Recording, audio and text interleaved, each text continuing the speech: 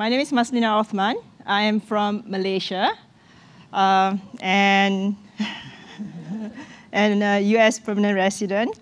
I have been living in the USA for 20 years, 15 years in Missouri, five years in the Bay. Um, I first come to the US for, uh, for education.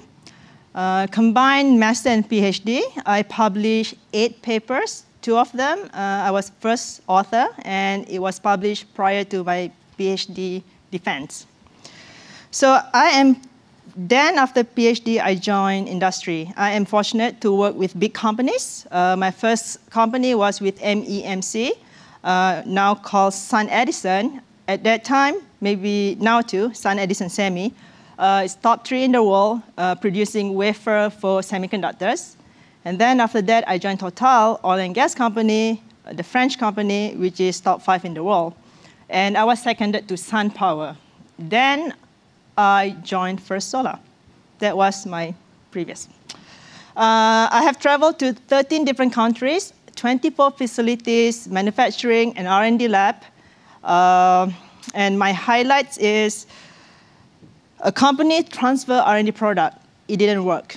I come in, I reorganize the lab, and with that, I improved the quality from 20% to 95%. I reduced the cycle time, I reduced the lab operation hours, and I increased throughput without heading a headcount. So this is a win-win situation between manufacturing and R&D. So today I want to give a talk about silicon in solar and challenges in transferring R&D product or R&D process into manufacturing, and also what women experience being in clean tech workforce. So everyone knows solar panel. You've seen in previous presentation, the one that you put on the rooftop, parking lot, the big farm, utilities, that is downstream. I want to bring you upstream. So it started with polysilicon. Then you have silicon crystal growth, ingot cutting, ingot shaping, slicing the ingot, creating the wafer. Then you have the solar cells device. Then towards the end, the installation. So let's, so for uh, solar cells device, the major part in solar cell device is silicon. Depending on different silic silicon cell, I'm sorry, de depending on different solar cells technology, then you will have different, a unique architecture on top of silicon. So the major bulk of the film is silicon. So let's talk about silicon, how it's been created. So first you have a polysilicon charges put inside the crucible, and then you melt the polysilicon at high temperature, and then you dip a seed, and then do a seeding, necking, and shouldering process.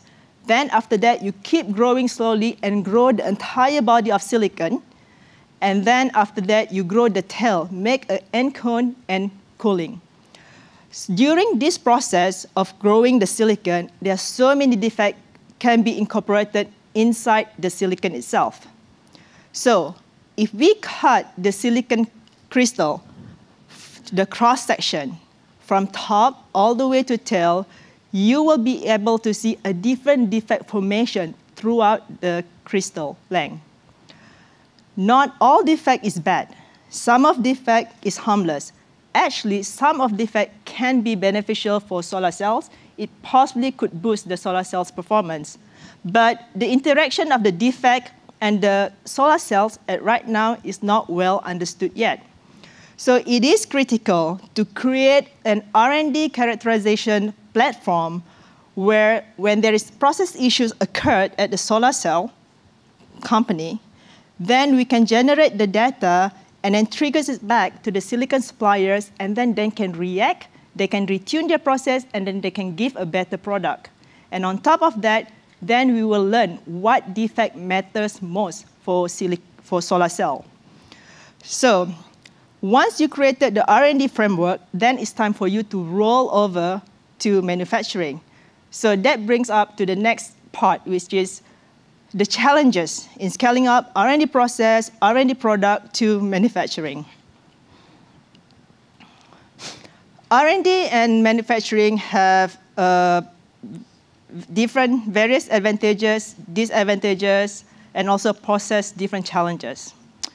R&D, money, money is not a major focus. Uh, they can use any chemicals they want. They can use high-grade purity they can have one technician that focus on one process step, and they can pay highly skilled technician. But manufacturing, on the other hand, money is their focus. They, because of that, because of the limitation, they are not able to assess any chemicals. And even one technician, the technician will have to work on multiple process. And on top of that, they have to pay a lower labor by hiring a lower pay operator. And in manufacturing, there will be multiple tools. And this multiple tool will have tool-to-tool -tool variation, which means process vari variation is high. Then you can have inconsistent in product. So for all R&D scientists and R&D engineers here, uh, you need to think ahead. Um, you need to think that if you create a product using the best scenario, but not thinking about the limitation what manufacturing have, then it will be difficult to roll over your product. So when you design a product, you have to make a process window large so that when it goes into the environment, it can be robust and your product can survive in the, in the manufacturing mode. Next, I'm going to talk about what women experience being in high-tech, clean-tech workforce. So this is my first-hand experience. But I wanted to make sure, I wanted to clarify that what I say here, I am not making generalization of countries. I am referring to the sub-society who are still using the old template. So um, so in the airport, I have, in the airport, somebody waiting with a sign, Mr. Othman. And then drive to the hotel, and when I arrive in the hotel, I look around, I can sense like, hmm, seems like I'm a neighborhood that have that provide women services. And then at night, I couldn't sleep. I go out, look down at the window, and I see a black car pull over and then there are five escort women coming up from the car to the building. And I opened the drawer, I saw a Bible, and next to it, a fresh pack of condom. Of course, why not, right? It's a scientist coming to the high-tech industry. Don't bother to ask what's the gender. And sure, let Mr. Othman have the option if he wanted to. In business dinner, there's a round table and then there are 18 males, two females. Um,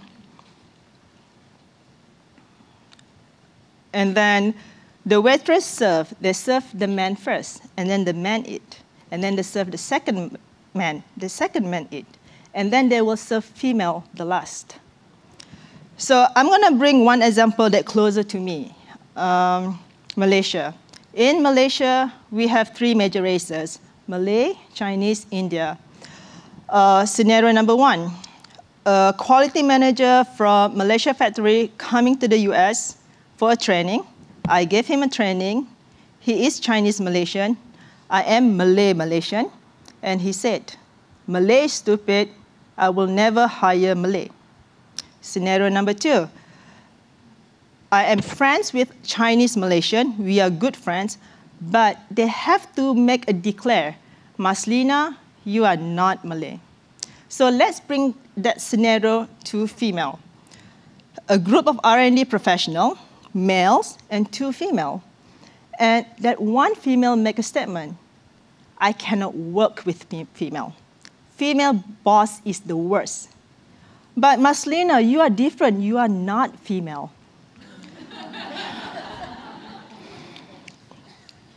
Next, they want here female. I am in charge of the technology. But every time when the supplier come, they will ask the technology question to my male teammate. My male teammate keep directing the question, please ask Maslina. We follow Maslina guidance. And then there is a supplier's product quality upset. And then I, I generate the data. I said, this is not working. I'm going to put you inside engineering program. We're not going to order from you. But please follow this program so that we can improve. Um, and then the supplier email to my male teammate, what should we do next? And then my teammate emailed back and said, please follow Maslina guidance.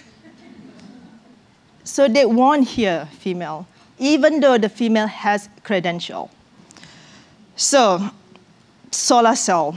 The size of solar cells matter. The larger solar cells, the more power you have. This is the opening slide they have. So what is the significance of this slide?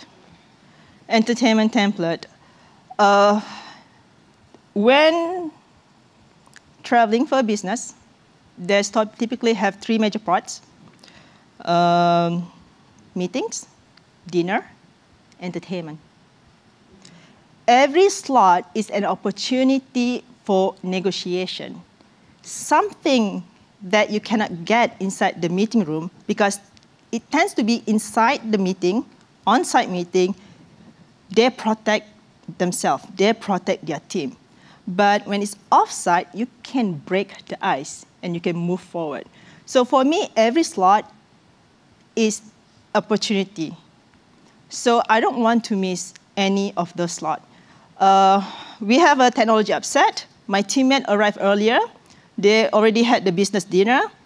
And then I came late. I joined them at entertainment slot.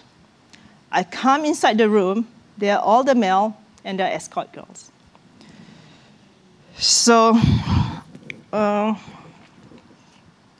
I have five females counterparts that I work with around the world. Three of them quit. They are young professional. I asked one of them, why do you quit? She looked down and she looked up at me and she said, Maslina, you see the environment. You know why I quit. My, my heart breaks.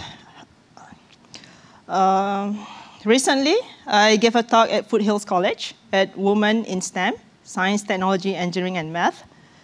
They're smart women. They love science. They love engineering. The university are ready to teach them. When they graduate, they are ready to contribute to the society. But does the clean tech workforce ready to accept female in the organization? If there are still this sub-society, this part of society who are still practicing this old template, these are not conducive for women professionals. With that, I conclude my talk. And it is everyone is responsible to change the old template, to create environment that are conducive to women. I am urging women to stay in this industry, men to be supportive to another woman, and women to accept differences among other women. And as regard of technology transfer, when you R&D scientists and engineers, when you design a product, think ahead. What need to be changed right now so that your product can be transferred easily to manufacturing? Thank you.